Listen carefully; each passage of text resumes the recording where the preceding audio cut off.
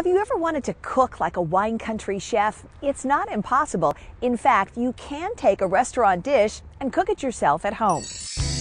At our chef's table, I get insider tips from a wine country chef who shows me how to prepare his recipes at home.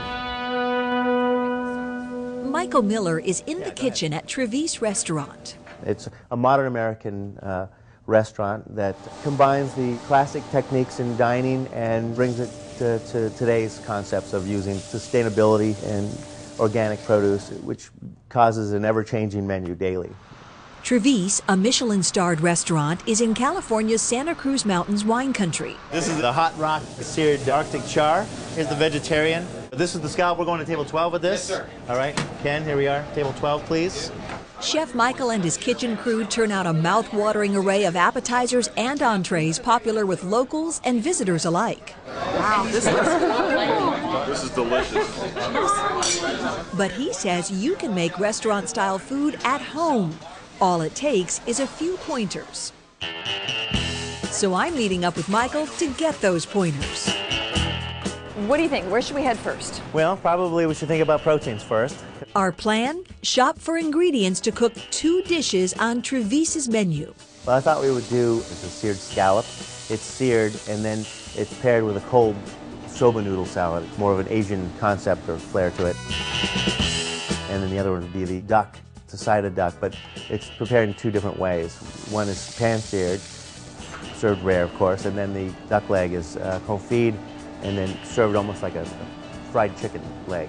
The duck is served with Napa cabbage, sort of slaw with cilantro and uh, red onions and an oatmeal roll. Okay, should we get some scallops? Then? Absolutely, yeah. Hi, can we have a half a pound of uh, sea scallops, please? Nice and round, as best as you can find. Thank you very much. So what if, Michael, you didn't like scallops? Is there an, an easy substitute here? If we wanted to and the scallops didn't look as nice as these do, uh, prawns would be a great substitution. Salmon, you know, or halibut, whatever people like. It's, Okay. That's, that's the, the, the whole point of the fun of this is that it's, there's no rules. Our next stop is the poultry counter. The restaurant recipe calls for duck. All I'm seeing here is frozen duck. You know, it's fine. We, I don't think we have much time to thaw out the, the duck if we're going to serve it tonight. This chicken looks fantastic. We could just get pre-portioned legs and, and breast and then cook it two different ways at home. Let's do the pieces. It sounds easier to Okay. me. Thanks a lot. So substituting chicken, are you going to save some money when you substitute chicken for duck? Oh, absolutely. Duck is a, a high-priced item in most cases, and a lot of grocery stores won't even carry frozen duck. Next on our list, soba noodles, mirin, chili sauce, and sesame seeds. For the chicken, in-season plums, Napa cabbage, It's got Napa in it. We got to get it. That's just too clever. green onions, and cilantro. And instead of the complicated oatmeal roll on the menu, Why don't we get something simple? Polenta might be really nice.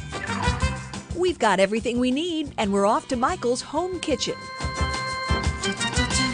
I am excited to make all of this. All right, I'm gonna give you this bowl and start pulling the leaves on the cilantro. I'm gonna get this in the water that we have going back here. This should cook off fairly quick.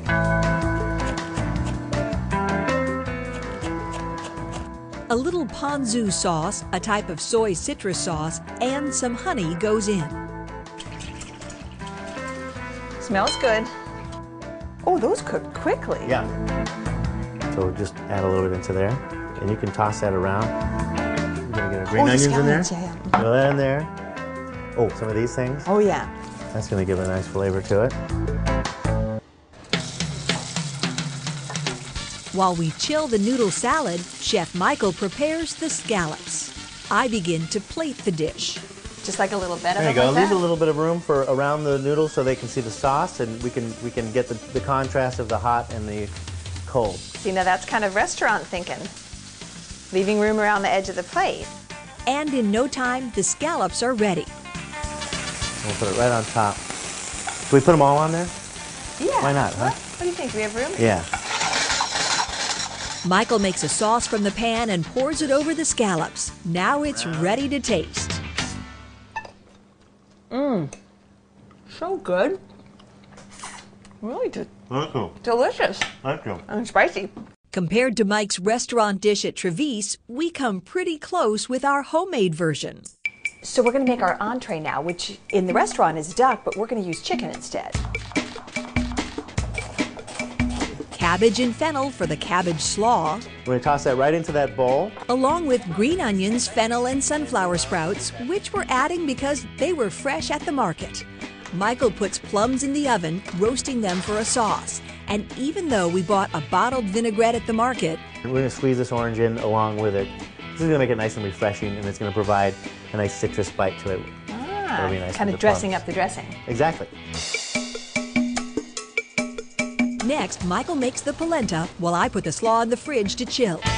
At the restaurant, we do duck two different ways. One is a confit, and the other one is a pan-seared duck breast. We can almost do the same thing here, but it's a lot of work to confit. It takes overnight. Instead, we'll sear and then roast the chicken. That looks like a restaurant. That looks so good. When the chicken and plums are done, Michael ladles the sauce from the roasted plums over it. The polenta's cooked too, and we're ready to plate. This is uh, taking the place of. Uh, Oh, the complicated oatmeal thing at your restaurant. that's right, the oatmeal rolls, which takes about 10 people to do. Look how pretty that is. That's beautiful. The chicken leg goes on top of the cabbage slaw, and the sliced breast goes on top of the sauce. Some plums for garnish and a drizzle of plum sauce complete the dish. While Michael picked a Riesling for the scallop dish, Cheers. he recommends pairing a rosé with the chicken.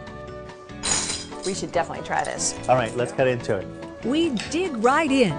Get all these little veggies in there with the, the polenta. That's fantastic.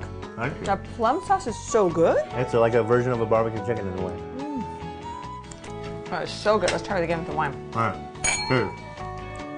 And there you have it two dishes inspired by a restaurant. Just goes to show it is possible to cook like a wine country chef at home. Thank you for a delicious meal, Michael. It was so fun to make it too. My pleasure. Thanks for being here.